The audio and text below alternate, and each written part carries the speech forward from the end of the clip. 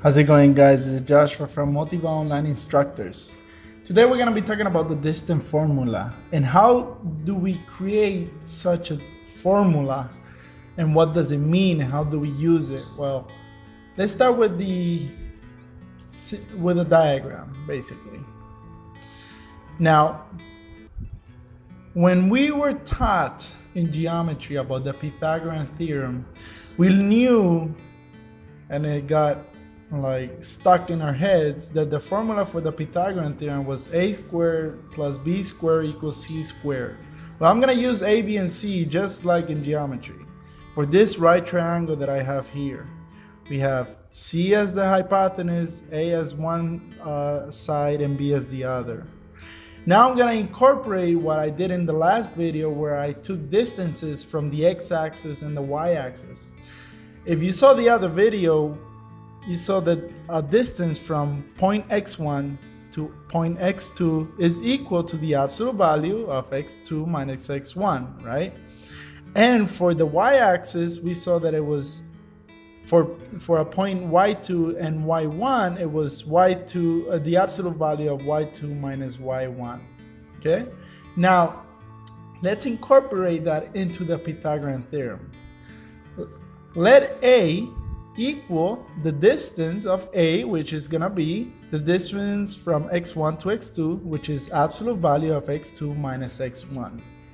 Let B be the distance from y2 to y1, which is the absolute value of y2 minus y1. And let C equal to D as distance. Okay, we're going to use D for distance. Now, applying the Pythagorean theorem, we have a squared plus b squared equals c squared. Well, expand that to what a and b and c are. a equals absolute value of x2 minus x1, but we need a squared. So this is this squared, this expression, plus b squared, but b is equal to the absolute value of y2 minus y1, which is this square equals c squared, but c is equal to d, so it's gonna be d squared. Now notice that the absolute value of x squared minus x1 squared is simply x2 minus x1 squared, right? Because it's still positive. So it, we can assume that this expression can be written as this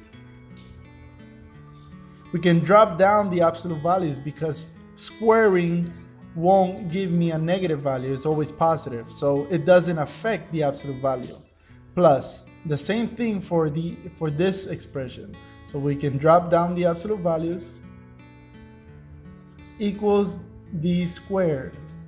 Now the distance formula doesn't have a square, right? So we can take the square root in both sides and we have that d is equal to the square root of x2 minus x1 squared plus y2 minus y1 squared. And that's how we find the, the distance formula.